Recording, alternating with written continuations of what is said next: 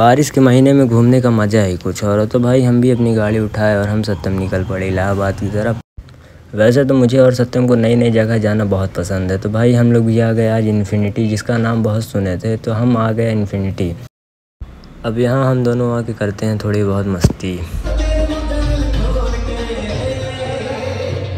Finally हम लोग का ऑर्डर आ जाता है, और ऑर्डर आने के बाद हम लोग खाते हैं, पीते हैं और निकल लेते हैं अपने अपने घर।